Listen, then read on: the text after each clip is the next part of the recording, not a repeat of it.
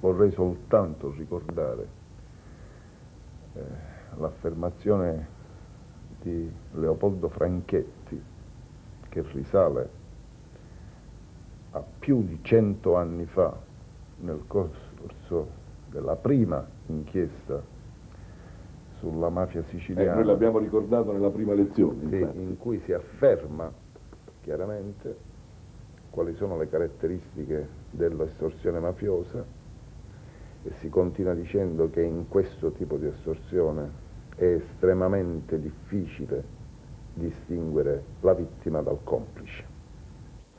Ma il problema degli appalti, abbiamo visto, è il problema centrale. Il giudice Borsellino ricordava appunto anche un, un uh, documento del 1864 ribadito poi, come abbiamo detto, nella prima lezione di mafia anche nella, nel rapporto del senatore Iacini. Già da allora c'era questa commistione tra appalti e politica. Sentiamo adesso in proposito un'altra dichiarazione del giudice eh, Falcone e poi torneremo nuovamente a parlarne con i nostri ospiti. Un dato certo, mh, ripeto, è che in qualsiasi tempo e soprattutto adesso l'organizzazione mafiosa ha sempre tenuto alla sua autonomia, quindi non ha mai accettato, e meno che mai adesso, di essere subalterna a forze politiche di qualsiasi genere. Tutto questo è stato interpretato come se io affermassi una inesistenza di rapporti tra mafia e politica. Nulla di più lontano dalla realtà che, rispetto a quello che è il mio pensiero.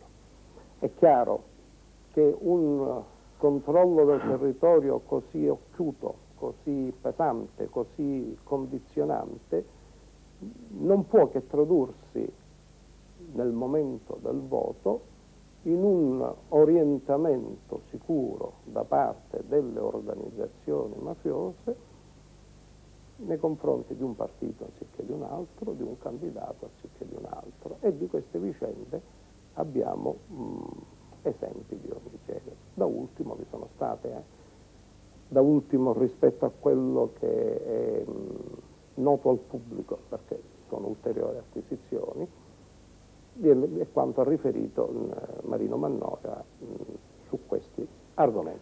Marino Mannoia ha parlato di ordini ricevuti per, per far votare un determinato partito, riferisce anche di, di contributi raccolti per, per sostenere un, un, altro partito e così via. Quali partiti? Veda, il problema non è di stabilire questo o quel partito e soprattutto, a mio avviso, il problema non è il sensazionalismo. Il problema è grave, quello del condizionamento della politica, soprattutto a livello locale, da parte della mafia.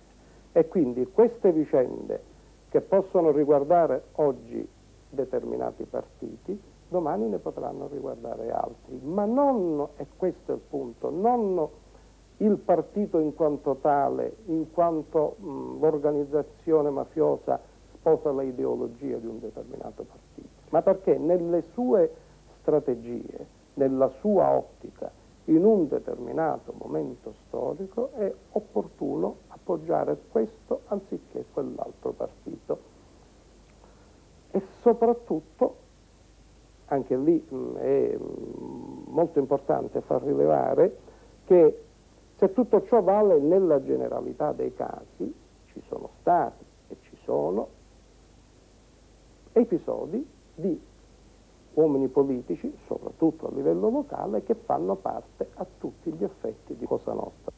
Questa è un'importante testimonianza del giudice Falcone, dove sembra di capire che lui faccia chiarezza su questo problema, ribadendo ancora una volta il principio che non esiste, diciamo, il cosiddetto terzo livello, cioè un, una cupola superiore che dà ordini alla, alla, mafia. Ma come ha detto nella nostra prima trasmissione il professor Renda dell'Università di Palermo, ciò che caratterizza e distingue un'organizzazione criminale dalla mafia è proprio il rapporto con la politica. Questo problema delicatissimo che abbiamo visto